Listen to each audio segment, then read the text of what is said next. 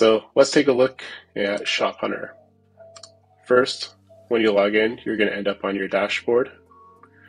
And we have a few different features on the left. One is the top stores, top products, my shops, add a shop. We're going to start from the top of the list and explain each area.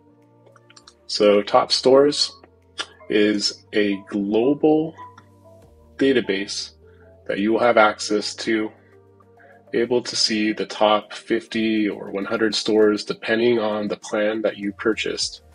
Here you can get different ideas for products or stores that you want to track. You could also click on any one of these stores and add it into your tracking database. An example would be if I click on this store here, I could click start tracking and I can see automatically the top selling products from this store, what the past 24 hour revenue estimate is, along with their recent sales. Pretty cool. Now, let's say um, we want to check out the top products, which is the next area of Shop Hunter. Here, we can organize it by day, sort by revenue, and here I can see the top products in our whole database based off of revenue or sales count. Pretty interesting. It's a great way to get an idea, like I said, on products that you might want to track or create. However, my favorite part of Shop Hunter is being able to track stores that you find either through advertising or your competitors that you know already exist. Here's an example of the area that you will see when you've added stores to track. And this area is considered a private database of stores that you are tracking personally. And in order to add these stores, you have to find them somewhere on the internet.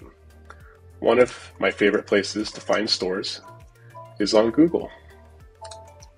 So if we go to Google, for example, and we want to find stores to track. We could look up um, hair curling iron, for example. Okay. And what we will find are different stores in Google Shopping.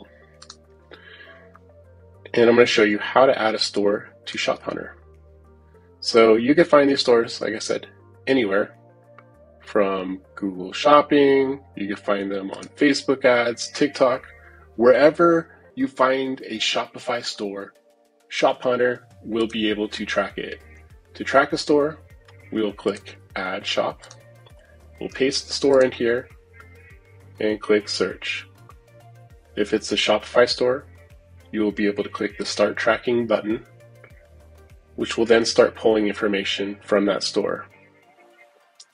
However,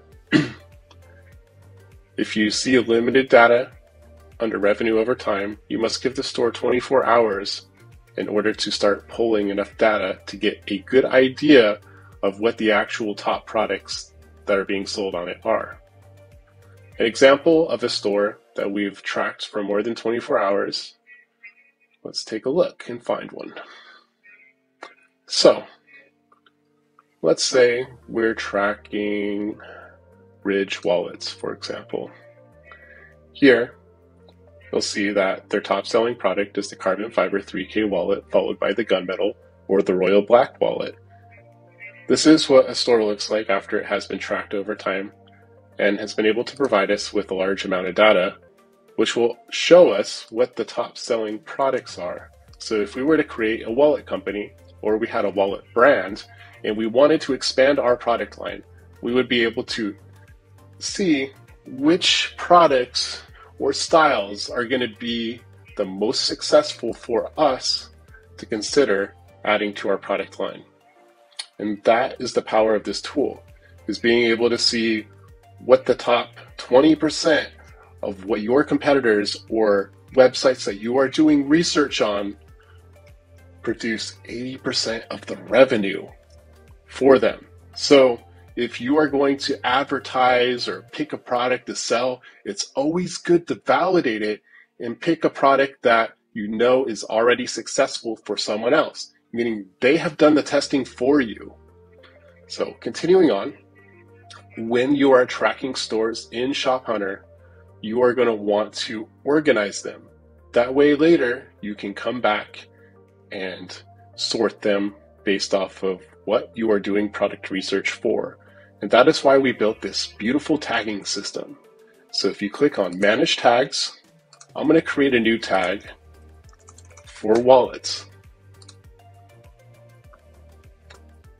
Now that I have a tag created, I'll be able to go back and add a tag to this store for wallets. So if I add more stores that are within the wallet niche, I will then be able to go to my shops here, select the drop down for the filter tags, select wallets, and I'll only see the stores that I have tagged for wallets. This feature is useful in order to keep track of multiple stores in one niche, especially if you run multiple e commerce stores or you're doing product research for different niches that you want to pursue. Because once you have a lot of different types of stores, um, it's going to be more complicated to have to filter through them. And that's why we created this tagging system that you could filter by. For example, I have a category for dogs. I also have a category for cats, which is kind of mixed with other pet products as well. But this way, you can see which stores are doing the most revenue. And then you can go into those stores after you've collected data and take a look at what their top selling products are. It's pretty powerful. So that is how my shops tags work. Everything else you'll see here is basically where you can edit information on your profile. You could update your billing management and everything you need for payment here. If you need help at any time, just select support. Some of our other guides, we will be going over product research. Thank you again and have a wonderful day.